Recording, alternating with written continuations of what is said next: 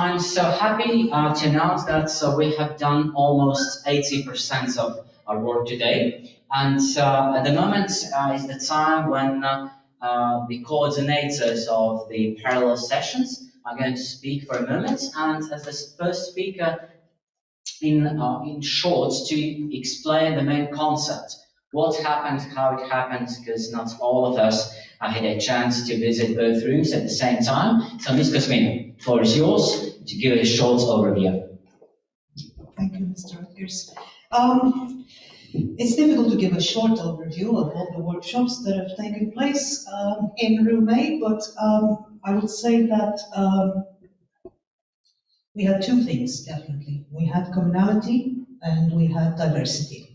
And we had commonality in the sense that um, almost every single workshop um, in one way or another related to telling a story uh, and the importance of telling stories. Whether it is the story of um, mathematical concepts uh, from a very early age to um, a much later stage in a, in a student's life to bias in stories and um, intercultural awareness when reading stories from certain parts of the world to um, uh, stories about um, little young children and the knowledge that they acquire step by step and um, how they can actually um, be encouraged to think and analyze and uh, it's okay to change their mind.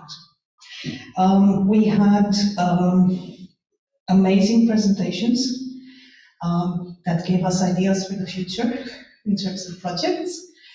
Um, and we had a lot of diversity in terms of um, the questions asked, uh, asked the audience. We had students in uh, some of the workshops, uh, and they had interesting questions. Um, we had great collaboration and interaction between the workshop presenters and uh, some of our guests here today. And I dare say that um, everybody has got at least a couple of ideas that they can um, implement or explore further. Thank you.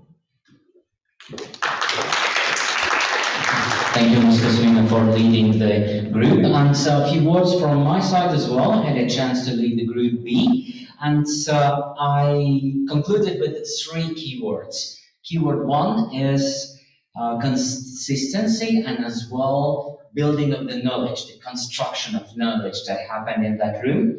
Uh, word B, or keyword B, is uh, uh engagement and as well bright eyes and sparkling eyes of the topics and as well actions teachers are doing. And last but not the least is interaction as well between uh, the audience and as well the speaker and vice versa. And I believe these three things were those that made Room B special, but I believe the same special was the Room A. So both uh, rooms had particular qualities. And uh, on this note, I'd like to give a floor uh, to another one speaker.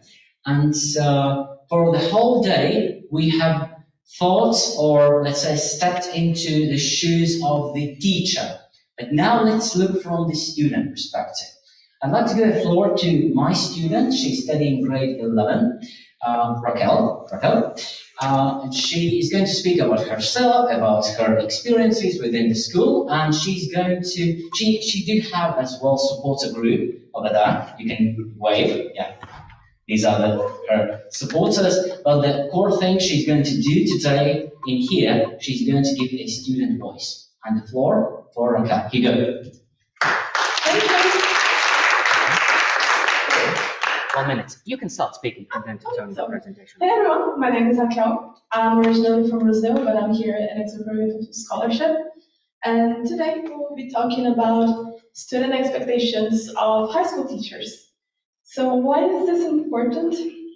Well, first of all, um, it is important that students have agency in their own education. And like any other human being, we have our preferences, we have our expectations and fears about the future.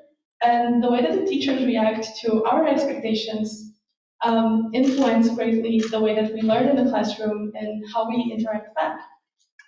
But first of all, I have a question to all of you. In your opinion, what is the ideal teacher like? So I ask you all to take out your devices. Uh, a cell phone works perfectly here, so we will be using Mentimeter for this. You can both scan the QR code or type the link here. And think of whatever comes to your mind, adjectives, um, characteristics. In your experience, in your past, in your education, what is the ideal teacher like? This is the concept that we will be discussing today. And all of your answers will form a word cloud here. Did anyone man, did everyone manage to get in? Mm-hmm. No. Can you can you come back to the QR code, please? Yep, and I believe I need to share the screen as well for the audience, even though I gave the uh, link as well. Okay. So here is the link.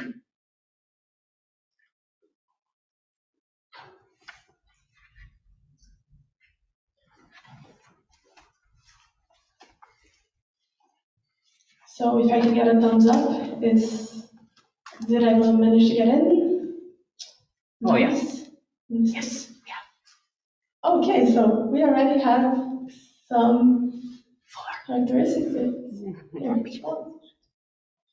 So flexible, aware, kind, and also if you have not used the word cloud before, I would like to remind you that the biggest words here are the ones that get typed in the most.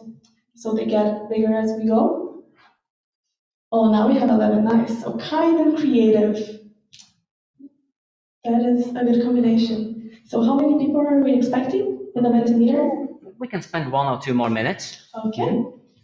So while we wait, would anyone like to talk a little bit about these characteristics? Did anyone here say creative?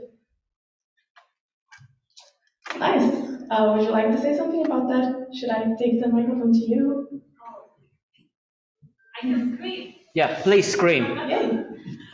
Um, I would say that creative, I would combine it together with curiosity. Creative and curious, since it's, it's I guess, a source of, of power for both teacher and student. And uh, I guess, uh, to sum up, always being a learner. That would be really the continuation of great. That is a really nice way to put it. Thank you for sharing. Would anyone like to add to that? Okay. So let's see the final results. Maybe somebody else as well gave. Oh yeah, 16 persons. So still kind and creative and approachable. Caring and approachable. Mhm. That is really interesting. Okay, so the reason why I make this is that most of us seems to seem to be in the same page right now, but these are characteristics that I personally would have never thought of before coming to Exupery. And I'm sure that my classmates in Brazil also would not have. Just so you know a little bit more about me, is this Okay, let's see. Oh, thank you. So I come from a military school in Brazil. It is a public school, but it is a highly accredited one. It is considered one of the best. And I stayed, I studied there for five years, and then I came here. So I had this great shift from one educational system, very strict, of course, very tied to the military, and then I came here to an international school. So the differences were quite stunning, especially when it comes to expectations. So, for example, like you said today, kind, caring, those were not words that we would use to a teacher at all. Next slide, please. Oh, wait, there is, yes, perfect. So this is a classroom in my previous school. And here are our expectations toward the teachers. Those were the main points that we would have in mind. So to us, teachers would always have the answers to all of our questions. So this idea of being the learner, for example, that was definitely not in our minds. They would prepare us well to our exams because that would be the main goal of studying in general, especially in high school. They would know how to control the classroom because silence is a must. All our classroom, classrooms, if you walk into any of those in a military school, they look like this. So we have the teacher as the main focus and the place that all the students look at. You can notice that the students do not have a single page or pencil on their tables.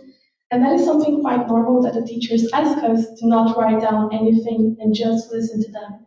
So teachers are always um, figures to be listened to, usually not questioned, and just give us the knowledge and all the answers that we need to do well in our exams, to get to go to university.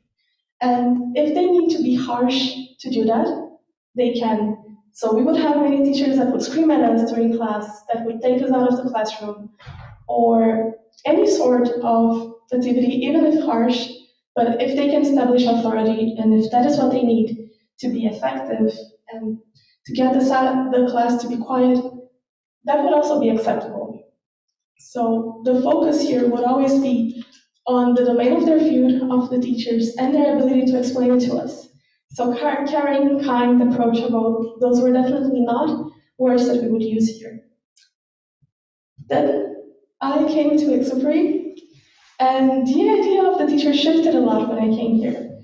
Uh, suddenly, the teacher was not the main focus of the classroom. I was not required to be silent. On the contrary, communication was a must. And every single day, we would have to get into Teams in English and global politics. So it was a really amazing shift. Looking for answers seemed to be more important than having the answers themselves. And engaging outside the classroom would always be important as well. And one thing that you have mentioned, but that I would have never thought of before, would be caring about our well-being. That was not something that we would um, think about at all. In Brazil, in my previous school, teachers would not care about us as people beyond our performance, but here, that is something that is definitely shocking, but also very present. So teachers act as more, more as a support in our learning than anything else, which definitely was really useful to me, and I believe it to be useful to every single student because this is the ways that we get engaged with the subject that we are enthusiastic. So it, there is a big difference, for example, from this classroom with the students laughing and everything, and the previous image, if we get to, yes, and that the students are just sitting down. A lot of my friends would just sleep during classroom, and that would also be fine. So those, um, let's say, shifts in expectations and how the teachers act helped a lot um, on us to getting enthu- enthusiastic about what we are learning in general. And so here comes the question of why it is important to be enthusiastic. And turns out that it actually helps with performance. So the effectiveness that we thought that existed, for example, in my previous school and the system that I was in, is in fact quite questionable. This comes from the program for international student assessment, the PISA from the OECD. And what they did was to ask students to answer these affirmations with either disagree, agree, or strongly agree, and then match that with their performance in reading. And turns out that, thank you, in most countries, students scored higher in reading when they perceived their teachers as more enthusiastic, especially when they said that their teachers were interested in the subject. So enthusiasm seems to play a huge role in education. That is something that definitely as students we notice a lot, I'm sure. So my next step was also to conduct a similar survey here in Exupery with M5 and S1 students. And thankfully we got um, good answers, I would say, mostly strongly agree or agree. We did get a little bit of disagree, but you know, we're not perfect. So the teachers do show enjoyment in teaching, for example. That was almost unanimous. The same goes for teachers like to deal with the topic of the lesson. And that the teachers also like teaching us. So it definitely made a difference to come to an environment like this, for example, and see how the teachers are engaging with us, how they care about our well-being, and also how they're passionate about their field of study, which is something that I definitely did not expect before coming here, but also definitely made me a better student. So to conclude, uh, I have noticed that what we expect most from the teachers here, specifically in an open community, and a system where we do get to have a say, because this presentation, for example, could not have happened in my previous school, definitely. Um, that would be treason, I guess. so here, we expect our teachers to explain topics in different ways. This is also actually adapted from the same survey that we conducted with PEM 5 and S1 students. We asked them what their ideal image of a teacher would be. And so they said they explain topics in different ways. They focus on the student. They invest, they are invested in the learning process. They can adapt to our needs. So again, explain the topic in different ways if that is necessary. They are eager to help us outside the classroom, they're encouraging and friendly, and they are patient. So thinking of the Mentimeter that we filled out today, um, we do have a lot of similarities. We have caring, we have kind, we also have approachable here. So it is really nice to see that you are very aligned with the expectations that we have as students, but it is always important to remember to have those expectations in mind and work accordingly. Thank you for your attention. If you have any questions.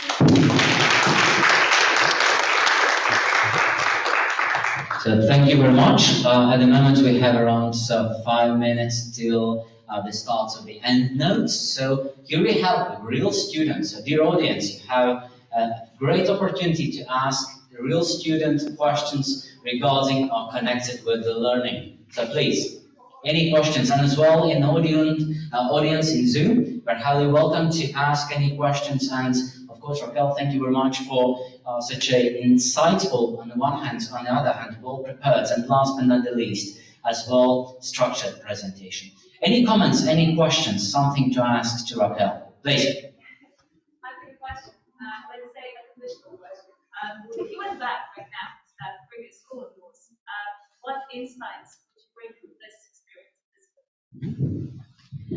I mean, I'm not sure that I would be allowed to bring the insights to be honest, uh, there were, I think that we did have some sort of awareness back in my school that there were certain things that could have been done better. We had teachers that were not engaged with us at all. Some of them did not even come to class, but that's another story. And um, usually these critics would seem, the teachers would take them either personally or the administration of the school would take them personally. But so it was really hard to drive change. It was a very traditional system.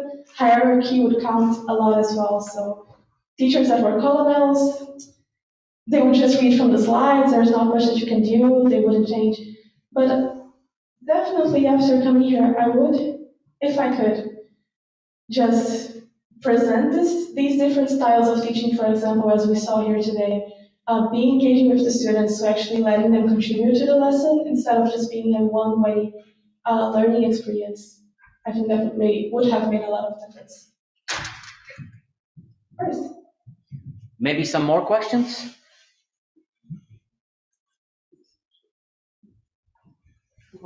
Yeah. Mhm. While we're waiting for the questions, Raquel, thank you very much for your presentation. Thank you very much for highlighting our strengths. You make me proud of all of us, of you as a student and the teachers. Uh, yeah, thank you. Real pleasure. Of course, thank you.